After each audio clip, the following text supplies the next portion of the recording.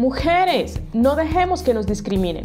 Nosotras tenemos derecho a la educación, a un trabajo digno, a una familia y acceder a todos los espacios con equidad, sin diferencias, en igualdad de condiciones. Son nuestros derechos. Hoy es viernes, día dedicado a las mujeres sordas. Yo también soy una mujer sorda, igual que tú. No nos quedemos calladas ante las desigualdades. Es el momento de actuar y mostrarnos empoderadas y fuertes.